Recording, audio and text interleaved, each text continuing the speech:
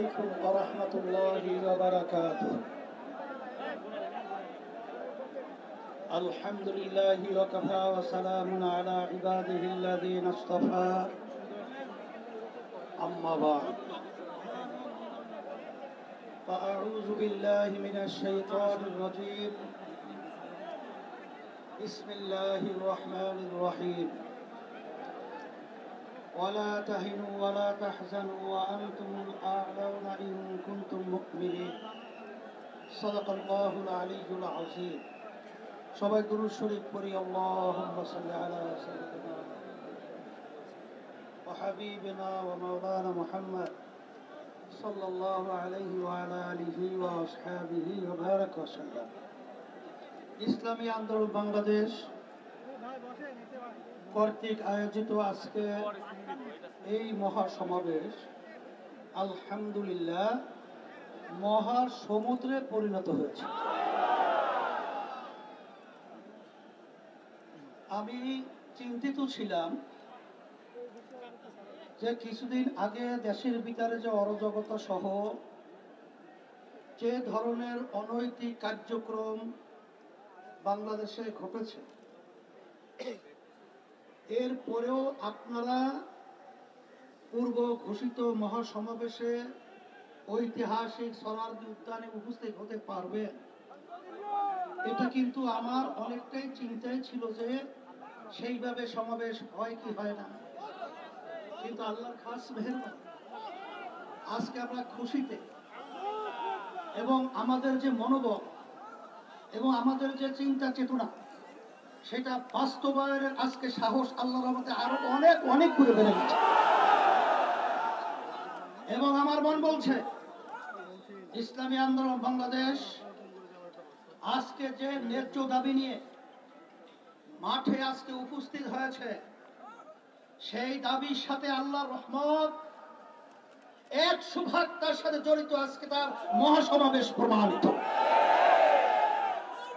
এবং সাথে সাথে আপনাদেরকে ধন্যবাদ জানাই যে আজকে আপনারা বিভিন্ন চানের ঝুঁকি নিয়ে বিভিন্ন ভয় ভীতির মাধ্যমে বা মধ্য দিয়ে যে আজকে আপনারা স্বতঃস্ফূর্ত উপস্থিতি দিয়ে আজকে বাংলাদেশের ভিতরে একটা মেসেজ চলে গেছে যে ইসলামী আন্দোলন বাংলাদেশ আল্লাহর খাস মেহরবানিতে আপনাদের দয় ন্যায্য অধিকার আদায়ের ব্যাপারে পিছে দৌড় দেওয়ার মতো দল নয়। এবং চালেমদের অত্যাচার সহ্য করবে এবং পিছনে পিঠ ফিরাবে, সে দল ইসলামী আন্দোলন নয়। যদি জালেমের জুলুম এই বাংলাদেশের ভিতরে ন্যায় প্রতিষ্ঠার জন্য, যদি বাংলাদেশের মধ্যে ইসলামী আন্দোলন তার নেতা কর্মী সহ বাংলাদেশের কলেমাগ মুসলমান যদি তাদের রক্ত দিতে হয়, যদি তাদের খাম ছড়াতে হয়, যদি তাদের অর্থ খরচ করতে হয়, যদি বিভিন্ন পালা মুসিবত এবং বিভিন্ন ভয় ভীতির মধ্যেও তারা তাদের ন্যায় দাবি বাস্তবায়নের জন্য প্রস্তুত রয়েছে মেসেজ শুধু আজকে সরারদি উদ্যানের মধ্যেই আমরা সীমাবদ্ধ রাখতে চাই না। এই মেসেজ আজকে বাংলাদেশের যারা ক্ষমতাশীল আওয়ামী লীগ সরকার, যারা অবৈধভাবে আজকে সংসদে চেপে বসে, আজকে বাংলাদেশের একটা সুন্দর দেশকে অসুন্দর দেশে পরিণত করার যে বিভিন্ন চক্রান্ত করতেছে এবং বিরোধী দলীয় নেতা কর্মীদেরকে যেভাবে একেবারে নির্মূল ধ্বংস করা যে নীল নকশা তৈরি করেছে, তার সেই সরকারের কাছে মেসেজ পৌঁছাতে চায় যে আপনারা যে চিন্তা নিয়ে আজকে সামনে নির্বাচন দলীয় সরকারের অধীনে করবেন, আর আপনারা যা মনে করে তা করবেন, আর বাংলাদেশের মানুষ সেটা বসে বসে দেখবে।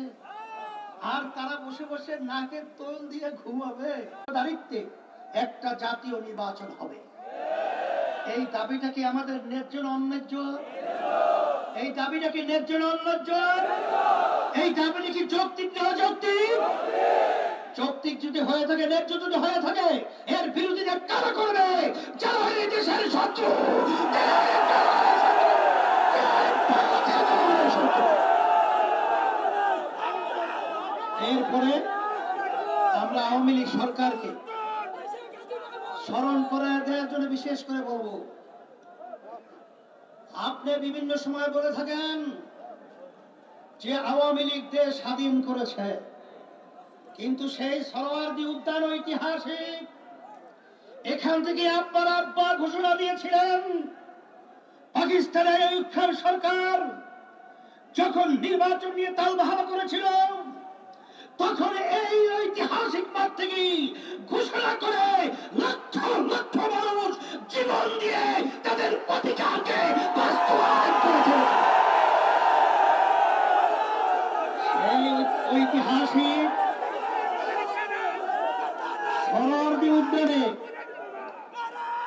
আজকে আমরা এই তিন নভেম্বর। আজকে এই সরকারের মেয়াদ শেষ। এর জন্যই আজকে আমরা তারিখ নির্ধারণ করেছি।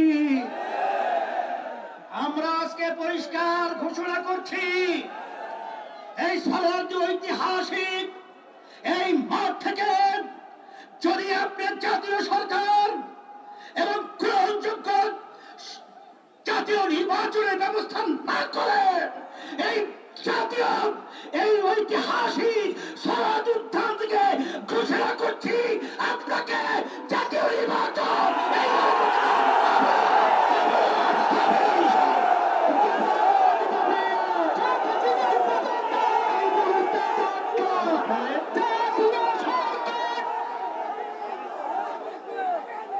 আজকে আমাদের দুঃখ হয়। আজকে আমাদের কথা বলতে কষ্ট হয়।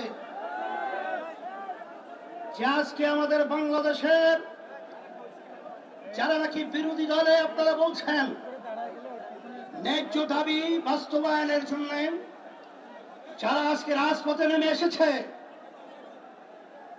আজকে তো জাতিসংঘ সহ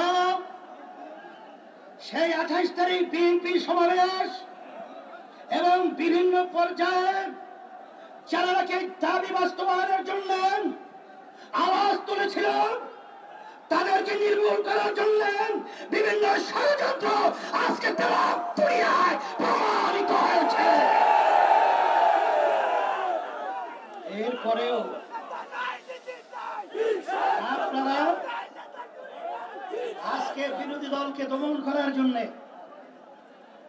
আজকে আমাদেরকে কেসের ভয় দেখান। আমাদের বাসকে আটকিয়ে দেন। আমাদের লঞ্চকে আটকিয়ে দেওয়া হয়। কিন্তু আপনি জেনে রাখেন, যখন পানি জোয়ার ছড়া শুরু হয়, কোন কথা।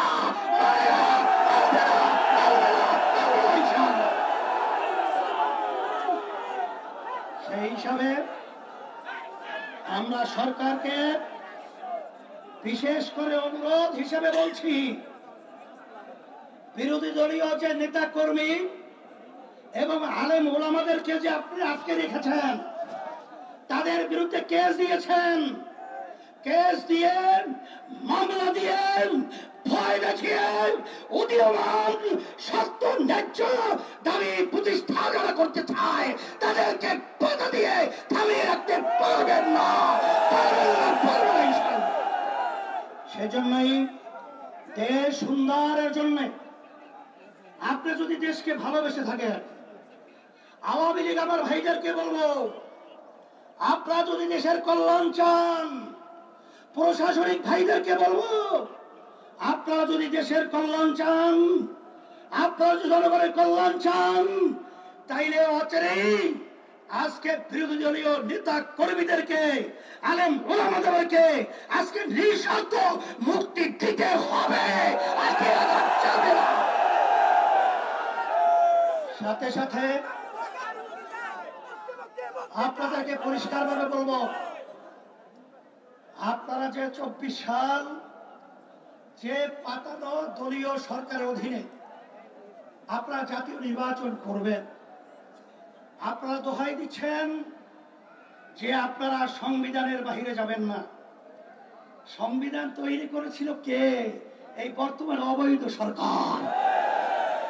এই সংবিধান অবৈধ। আর এই অবৈধ সংবিধানের মাধ্যমে আজকে বাংলাদেশের মানুষকে হত্যা করবেন, জেলে দেবেন, তাদেরকে রক্ত খনন করবেন, মায়ের কোল খালি করবেন, সন্তান এতিম করবেন স্ত্রী বিধবা করবেন?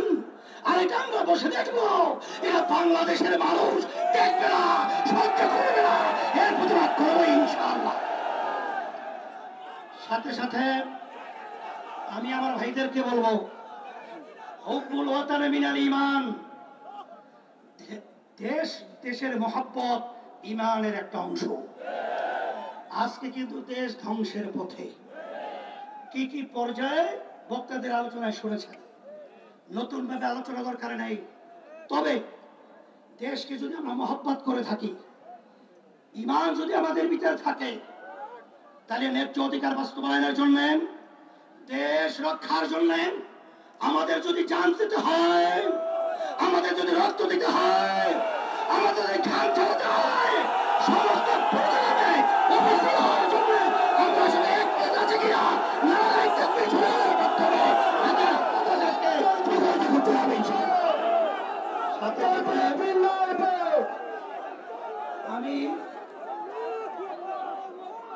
বিশেষ করে ফিলিস্তিনে আমার ভাইদের উপরে আমার মা বাচ্চাদের উপরে যেভাবে নির্মম ভাবে হত্যাযজ্ঞ চালানো হচ্ছে, আমরা এর নিন্দা জানাই। জাতিসংঘ সহ তাম দুনিয়ার মুসলমান এবং বিবেকবান মানুষদেরকে এর পক্ষে অবস্থান নেওয়ার জন্য আমরা বিশেষ করে সকলকে অনুরোধ করছি এবং ওই চালেন পাল্টেন ইসরায়েল এই জমি দখল ভূমিদস্যুদেরকে বিতাড়িত করার জন্য সবাই প্রস্তুত হয়ে আমরা একমত হয়ে কাজ করার সিদ্ধান্ত নিচ্ছি। আর সাথে সাথে আপনারা কষ্ট করে এসেছেন। আপনাদের সবাইকে ধন্যবাদ জানাই এবং আমরাও দোয়া চাই, আপনাদের জন্য দোয়া করি। আর সামনে আমাদের যে কর্মসূচি কর্মসূচি ঘোষণা করছি, দশই নভেম্বর দুই হাজার তেইশের মধ্যে সরকারকে পদত্যাগ করে এবং জাতীয় সংসদ ভেঙে দিয়ে সকল নিবন্ধিত এবং প্রতিনিধিত্বশীল আন্দোলনরত রাজনৈতিক দলের সমন্বয়ে গঠিত জাতীয় সরকারের কাছে ক্ষমতা হস্তান্তর করতে হবে। দ্বিতীয় নম্বরে দাবি কর্মসূচি। বিদ্যমান রাজনৈতিক সংকট নিরসনে আগামী এক সপ্তাহের মধ্যে রাজনৈতিক কারণে কারারুদ্ধ বিএনপি সহ সকল ওলামাই গ্রাম সকল শীর্ষ নেত- নেতৃবৃন্দকে মুক্তি দিয়ে রাষ্ট্রপতিকে সকল রাজনৈতিক দলের সঙ্গে জাতীয় সংলাপের উদ্যোগ গ্রহণ করতে হবে। কি সরকারের সব দাবি মেনে না নিলে আন্দোলনরত সকল বিরোধী দলের সঙ্গে আলোচনা করে পরবর্তীতে কঠোর বৃহত্তর ঘোষণা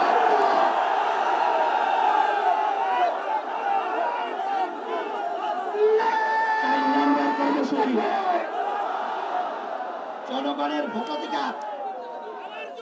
জনগণের ভোটাধিকার প্রতিষ্ঠার দাবিতে এবং অবৈধ সরকারের পতনের লক্ষ্যে বিএনপি সহ বিরোধী দল সমূহের সকল শান্তিপূর্ণ কর্মসূচির প্রতি ইসলামী আন্দোলন বাংলাদেশ সমর্থন ঘোষণা করছি।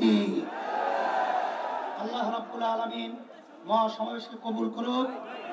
আল্লাহ আমাদেরকে নাজাতের ওসিলা বানায় দেয় আল্লাহ আমাদের শান্তি, দেশের ব্যবস্থা করে দেয় আল্লাহ আমি আতিনা ফিদ দুনিয়া হাসানা ফিল আখিরাতি হাসানা অকিনা কিনা আযাবান নার আল্লাহ ফিলিস্তিনি মুসলমানদেরকে হেফাজত করে।